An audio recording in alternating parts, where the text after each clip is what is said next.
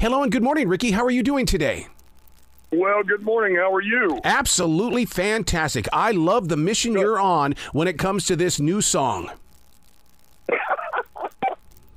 Yeah, it's been, you know what? This has been, um, for me, a long time coming.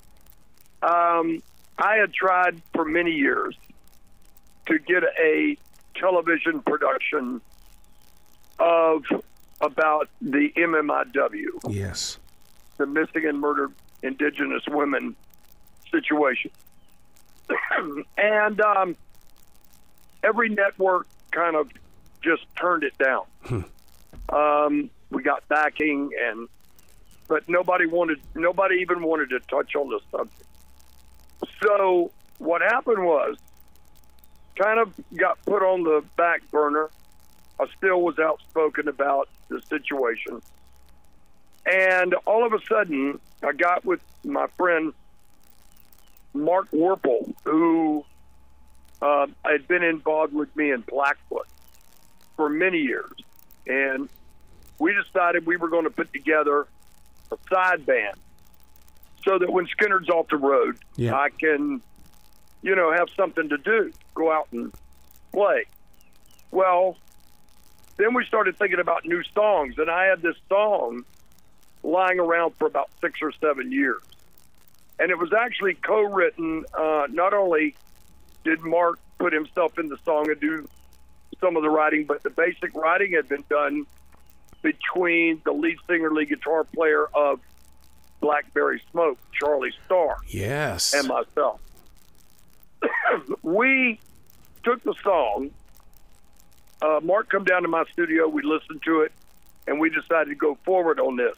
Then along comes this guy Scott, who owns um, Rock the Cause Records, that's distributed through uh, Orchard Sony, and he told us what he likes to do was if he signs an artist, puts a song out, that they donate part of the proceeds to a certain charitable call. oh man. Bingo. That set That's it off for me. Exactly. So what happened? I got a hold of a very, very good friend of mine. It's like a brother, and he is the actor, well known, uh, not only in countless films, but also lately the Yellowstone series. His name is Gil Birmingham, Mm-hmm. and Gil plays the tribal chairman um, of the of the Indian Nation on the show. Well, they had done a segment in the season, I think it was season three. They had done a segment uh, of the show uh, just about this. Now, go back, Gil had done a movie with Jeremy Renner called Wind River. Yes. That was about half a dozen years ago or whatever. And it was about this subject. Um, Gil was the father of a missing and found murdered uh, indigenous daughter. So, uh, Gil, I told Gil what I was wanting to do. He said, "Rickey, give me a give me a little bit of time. Let me get a hold of Taylor Sheridan because I know that he donates. Uh, since then, he donates to uh, the missing and murdered indigenous women movement through a charitable organization. He called me back and said the National Indigenous Women's Resource Center is who to go to. That's what we did. We put the song out. Now part of the part of the proceeds will go directly to them, also to the Dreamcatchers charitable organization and the National Save the Wolves Foundation. Wow. So there you go. We're trying, I am trying to make this happen to give back uh, in a great way, you know? Oh my God! It th- this to me is so. It, it's like the great Creator has spoken into your heart, and and all, everything is growing from you, and it, and it just continues to spread out. Yes, I mean, I, I'm very. You know what? I, I'm so proud and happy that this that we're doing this, and we're already looking at doing another song and doing the same thing. Continue, you know, on this journey of of bringing awareness Yes. to a very very serious situation that has gone on uh, for decades after decades after decades, far too long, and no attention brought to it. Right. And that's what really, really gets my, you know, heated up. That's what gets me going, is for the fact that nothing is ever talked about it. Yeah, it's not even it's not even on the front page. It's not on the front page. It's not even No, on not page even. six. No, nowhere. You won't find it. But, you know, sometimes, and, and I don't mean anything by this, no disrespect to anybody or whatever, but I was talking to a native buddy of mine, and he said, you know, Rickey, because we are sovereign nation, Yep. Um, you know, within the United States, that you know, reservations are counted as sovereign nations. It's almost like we're not even citizens of this country. Mm-hmm. And I, I got to thinking about that. And you know what? It's almost he's not. To me, he's not too far from being wrong. You know. Mm, mm, mm. So many people don't understand the power of Native American spirituality. And and I think this is one of those moments where where we can come together as a people and start getting the conversation going. But but it's going to take a circle of people and not just one person. And that's what you're building here is a circle of people. Well, you know what? I hope that everybody will just look into it, read about it. I mean, it will it will stun you. The statistics of how many uh, older women, uh, middle-aged women, younger women, young children uh, that have gone missing and found deceased, and you know, the whole bit. It, it is just horrifying to me. Even growing up in the state of Montana, I mean, they, we didn't read these stories, and yet, and yet, we were right there in the center of the Crow Nation, Blackfoot, Lakota, I mean, the Yes. Arapaho, Yes. and we never heard these stories. Well, it's interesting because I have a, another really good friend of mine, actor friend of mine, uh, was in Wonder Woman, and uh, lately my friend Zahn McClarnon's got Dark Winds out. His name, this friend of mine, Eugene Brave Rock, um, right there from the Blackfoot Indian Reservation, was he's right in the epicenter of it all Yep. and we've discussed it. And he's told me about, my God, people would not believe how many people have gone missing. And it just, it's an epidemic to unbelievable proportion.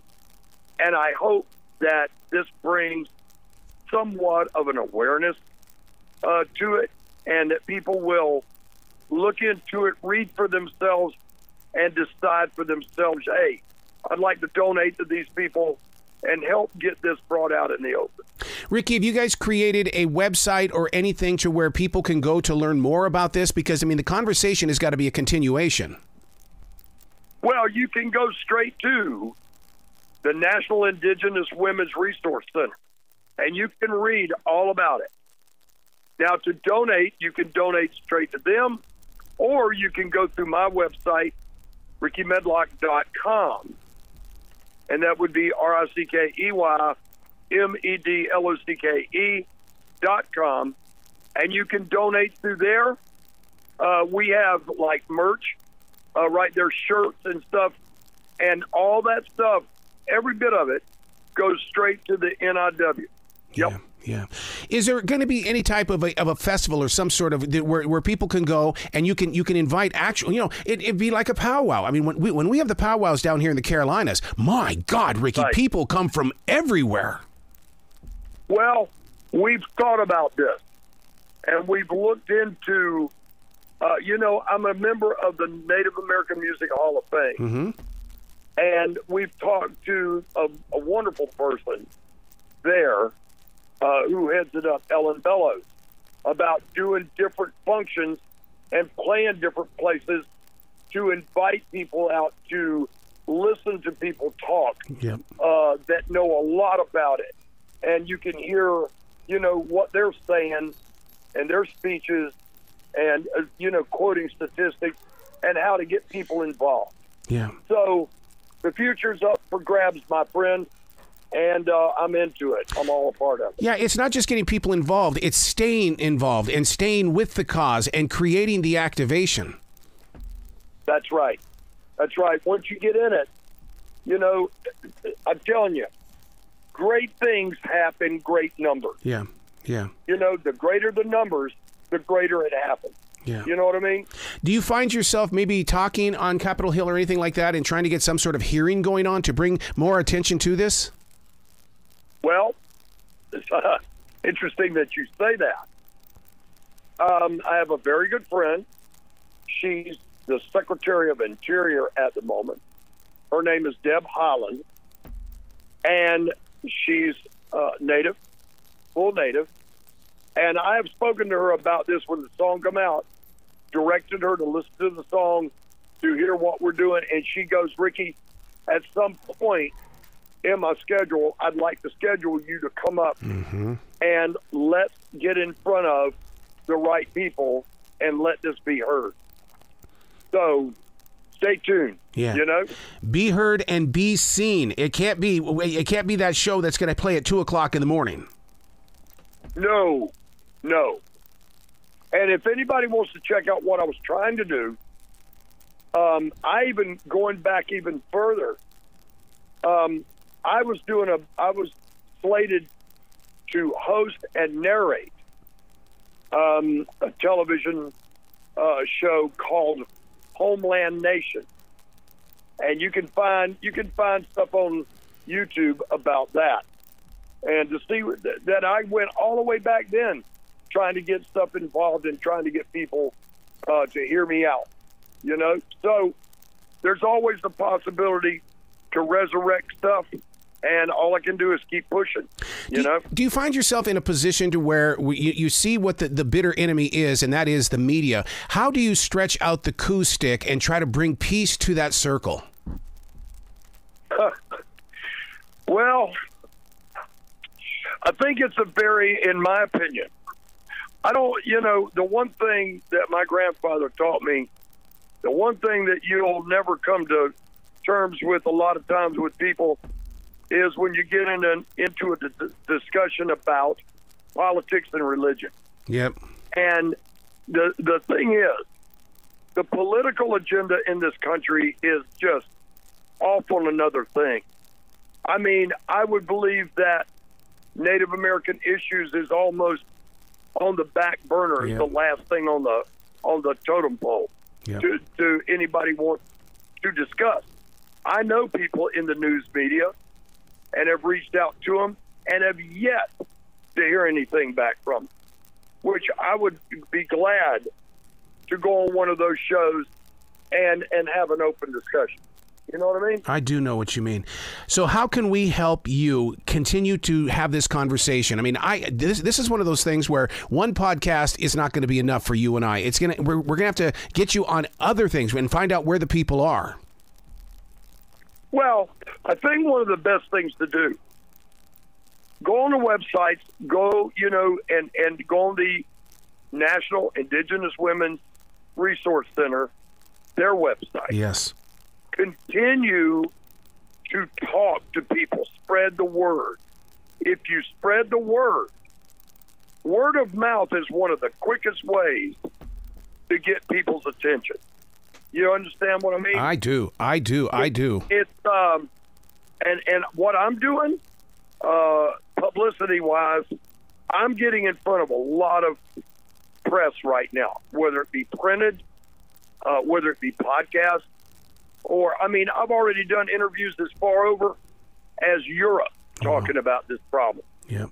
and they are really interested in it.